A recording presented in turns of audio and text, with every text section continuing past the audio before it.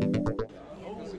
El rescate a Chipre y el visto bueno a la segunda revisión del programa de reforma bancaria puesto en marcha por España para sanear el sector son dos de los asuntos a debatir este lunes por el Eurogrupo en Bruselas. La Troika y los socios europeos han esperado a la celebración de las elecciones y la toma de posesión del nuevo Ejecutivo en Chipre para cerrar un consenso sobre el rescate solicitado en junio por ese país. Con el nuevo gobierno se tratarán cuestiones como las medidas contra el lavado de dinero en la isla, la situación de la deuda pública o las reformas que deberá emprender Nicosia a cambio de la ayuda. Los 17 analizarán asimismo las previsiones macroeconómicas de invierno publicadas hace 10 días por la Comisión Europea, una discusión en la que estudiarán la situación económica de la zona del euro y los desvíos deficitarios que sufren países como España o Francia. Los avances por parte de Grecia en el cumplimiento de las condiciones del segundo rescate y la posibilidad de ampliar el plazo para la devolución de los préstamos concedidos a Portugal e Irlanda también serán abordados por el Eurogrupo.